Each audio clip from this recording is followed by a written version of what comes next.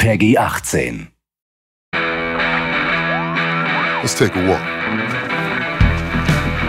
This new cartel running a large-scale operation out of the Cluckin' Bell factory in Paleto Bay.